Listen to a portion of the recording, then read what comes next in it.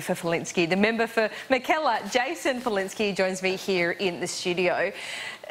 What is going on here? Because it does seem like the government's running scared and it just doesn't want to face a week of Parliament that will just make it look more chaotic than it does at the moment. Well, I'd be very disappointed if it got characterised that way. Um, there will be no difference between the first and the second week in terms of our numbers on the floor. What we're doing is trying to ensure that we use the resources of the parliament and the time of the parliament as efficiently and effectively as possible to get the two things done which the Australian community is crying out for us to get done.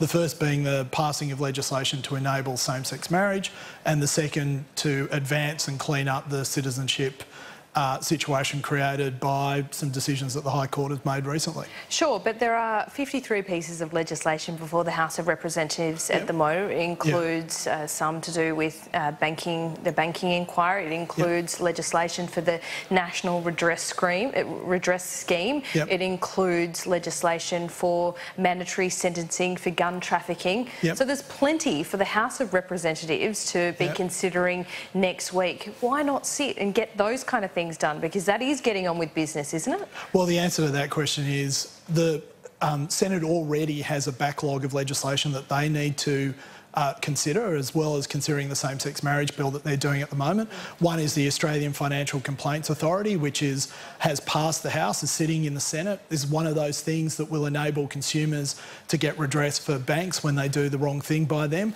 That you know, there are 23 pieces of legislation in the House at the moment under consideration. Most of them are non-controversial. Some are, some are up for debate, but there's a lot more sitting in the Senate waiting for them to um, clear and send back to the House for the debate. As you say, the numbers on the floor of the House don't actually change, even right. with uh, Barnaby Joyce, if he does win the New England by-election. Yep. But doesn't this just show, without him as Deputy Prime Minister and without him in the Parliament, it's somewhat chaotic. He has left a bit of a, a leadership vacuum because it seems some of his national senators and MPs see this as an opportunity to really mm. go rogue.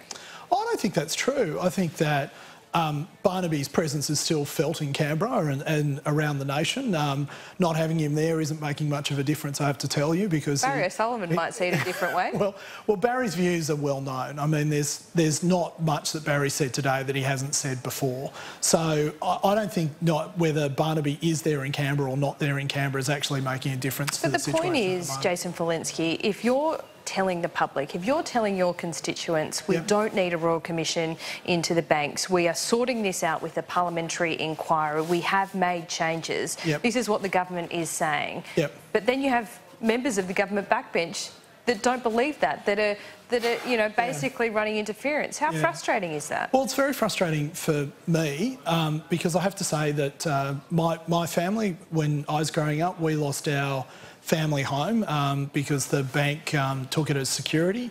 Um, there was a court case that followed that where essentially bank officers conceded that they'd forged signatures, etc., on contracts.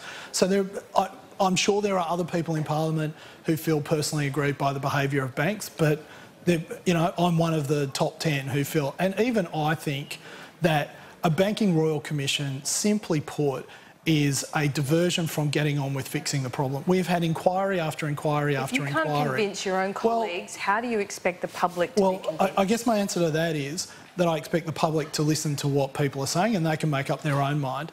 Um, if there are people who think that we need a royal commission, I, I, guess I'm happy to listen to them why, but why doesn't anyone ask them what is it that you think a royal commission is going to produce that hasn't already been produced in the innumerable outcomes and inquiries that we've had and the legislation that the government is already implementing, one of which is sitting in the Senate at the moment, being the Financial Complaints Authority, which, for example, gives businesses access to an authority and compensation up to a million dollars, which they don't have to take a bank to court to get.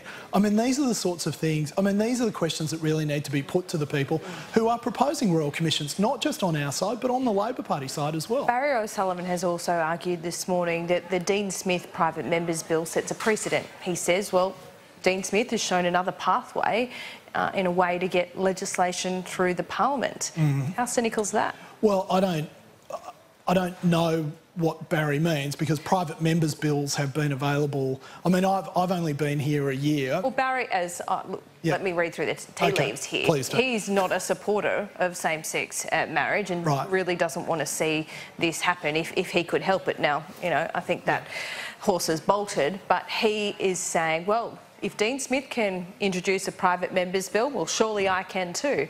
We're Sure. ignoring the 10 Yeah. years in the lead up to the same-sex marriage legislation and really using this to its own his own Well, look, I've, I've introduced private members' bills. Um, I'm sure Barry can introduce a private members' bill if he wants to as well.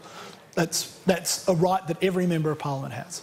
Okay, but uh, private members' bills don't often get off the ground, but uh, we will see uh, what happens with that. Now, when it comes to the citizenship issue, you say, you know, this will this will be dealt with in due course. But if if uh, this doesn't, if Parliament doesn't sit again until December, Yep. uh, December 4, that means the legislation to be passed in the House in order for people to get their documentation in order Yeah. uh, means that they've really only got a day to table that. Is, is that even possible to do? Well, I don't think there's any member of parliament that isn't on notice about this. Um, the resolution has been well aired and discussed. Yep. The Senate's passed a similar one, so I think all of us sitting in the House of Reps know the sort of documentation and declarations that we're going to have to make.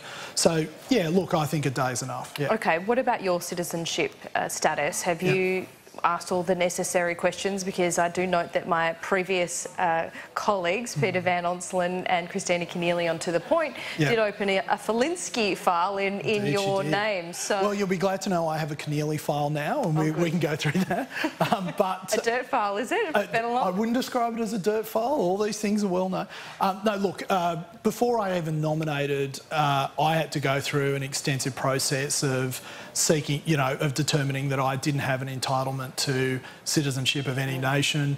Um, I've, you know, since then, like virtually every other member, had cause to go back and relook at that advice or look at relook at um, the work that we did. It's pre- it Look at the advice or the documentation? well, documentation, and I obviously sought um, expert advice because, as um, as uh, good as I might be, and I'm not, um, I'm not an expert on on you know a whole bunch of uh, Expert national advice doesn't really laws. cut it after the High Court decision and, you know, Malcolm Turnbull declaring and the High Court will so hold over Barnaby Joyce. Don't you uh, agree that there are divergent uh, views here about what is eligible and what isn't? And some of the best lawyers in the country have got this wrong Yeah. uh, on, on occasion. Look at the Barnaby Joyce case, look at uh, Mm. Yep. Fiona Nash. So are you, Well, are you 100% sure? Oh yeah, sure. Yeah, Uh, so oh, could you have Polish citizenship by descent? no, I can't have Polish citizenship. A- any other kind of citizenship? Well, I can't have Russian by descent. I can't have Kyrgyzstani. I can't have English.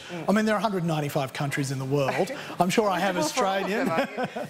well, that's look. Um, the, your point is the right one, which is until the High Court's decision uh, two or three weeks ago, um, there was some debate about uh, how they would interpret Section 44.1. They've now put that debate to rest, and all of us now have clarity around what we need to do and where we all stand on these issues. Okay, so you're confident that you won't need to be referred to the High Court to sort out, sort out any ambiguity? I'm, I'm confident that I'm not a citizen of another nation or entitled to citizenship of another Okay, just quickly uh, and finally, uh, Jim Molan looks like he could be next in line. Uh, Yeah. Do you think there's any question marks over his eligibility to sit in the Senate? Well, I couldn't think of any that there would be, but you know, as we've seen recently, the High Court has taken a pretty literal view about Section 44.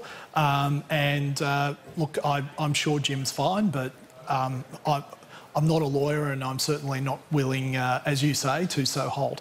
okay, Jason Falinski, thanks so much for your time. Thanks, Laura. I really appreciate it.